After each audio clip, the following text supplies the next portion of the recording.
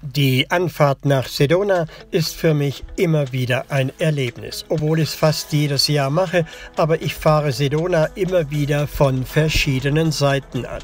Heute fahren wir die Südwesttangente und das war ein sehr schöner Pass von oben nach unten kann man sagen von einer Höhe von 6000 Fuß runter dann auf 1200 Fuß. Für Material und Fahrzeug und auch für meine Füße mit den Bremsen war es natürlich schon ein bisschen eine Strapaze, denn das Wohnmobil schiebt ganz schön und man muss natürlich auch zurückschalten.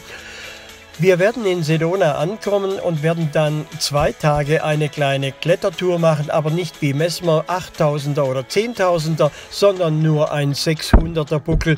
Aber es wird Hier Spaß machen. Wir hochklettern. Ich hoffe, es klappt. Wir haben Angelhaken dabei, Bergeisen, die halten im Sandfelsen und das ist mal sehr wichtig. Und wir werden ungefähr zwei Tage brauchen, bis wir oben sind, durch den Nationalpark hier von Sedona.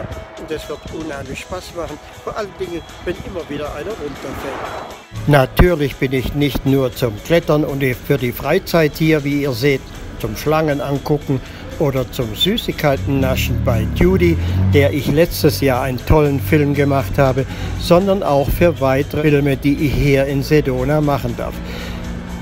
Ich bin sehr gerne hier und filme deshalb auch gerne hier und habe demnächst auch hier eine Weinerei und eine Essigfabrik mit verschiedenen Mustern zu produzieren.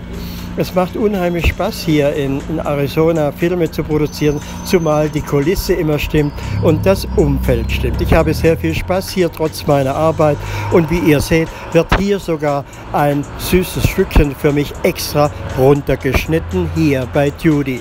Ich werde vielleicht zunehmen hier in Sedona, aber ich marschiere natürlich auch sehr viel in der Bergwelt rum hier und erlebe wirklich viel hier in Sedona.